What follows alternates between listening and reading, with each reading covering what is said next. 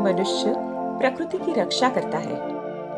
इसी तरह मनुष्य को जानवरों और वन्य जीवों को बचाने का काम करना पड़ता है।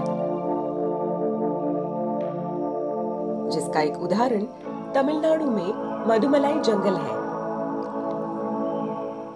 बॉम्बे नेचुरल हिस्ट्री सोसाइटी ने जंगल में लगभग 400 हाथियों के झुंड का अध्ययन और निरीक्षण करने के लिए रेडियो कॉलर नामक एक बेहतर प्रणाली विकसित की है। रेडियो कॉलर तकनीक से हाथियों का अध्ययन कैसे करें? हाथियों की जीवन शैली कैसे जाने?